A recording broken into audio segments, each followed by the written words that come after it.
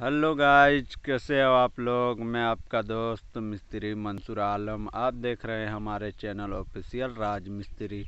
मैं आपको दिखाने जा रहा हूँ एक पिलर का किस तरह रिंग बनाता है, वो मैं दिखाने जा रहा हूँ। कैसे कैसे रिंग बनता है और गोल पिलर में कौन सा रिंग डालने से अच्छा रहता है, कितना बाय कितना रिंग बनता है, इधर मेरा रिंग बन रहा है, देख सकते हैं। तो अब मैं दिखाने जा रहा हूँ तो वीडियो को स्किप ना करें और हमारे चैनल में नए हैं तो चैनल को सब्सक्राइब कर लें, साथ ही साथ बेल आइकन को दबा दें ताकि आने वाला नोटिफिकेशन आप तक पहुँचे। तो चलिए वीडियो को स्टार्ट करते हैं।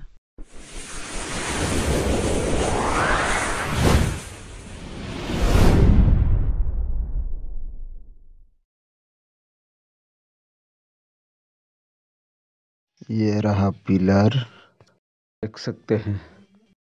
ये पिलर का रिंग स्क्वायर कितना बाय कितना है, देख सकते हैं।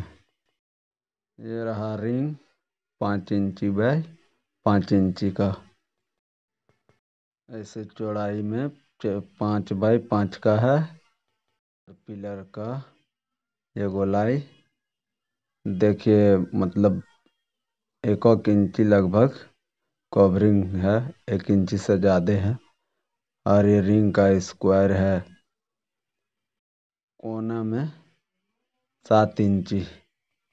इस कोना से उस कोना सात इंची। बात करते हैं पिलर का मोटाई।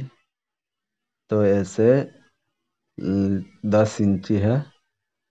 पूरा दस इंची बाय दस इंची। और ये रहा मेरा पोटिको का हाइट।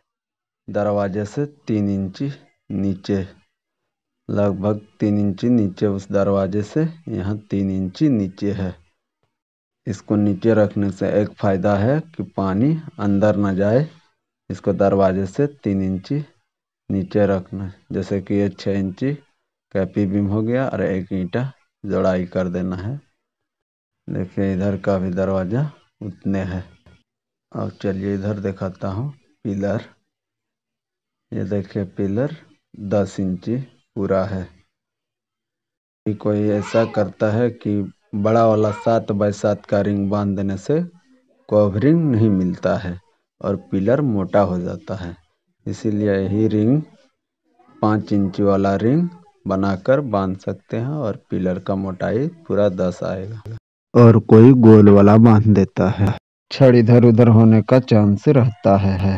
अगर वीडियो पसंद आए तो प्लीज़ वीडियो को लाइक करें और लाइक के साथ साथ चैनल को सब्सक्राइब कर लें और बेल आइकन को दबा दें ताकि आप लोग के लिए ऐसे नए तरीके का वीडियो लाता रहूँगा। मिलते हैं अगले वीडियो में। तब तक के लिए ऑफिशियल राज और पूरी टीम को दीजिए इजाज़त। नमस्कार।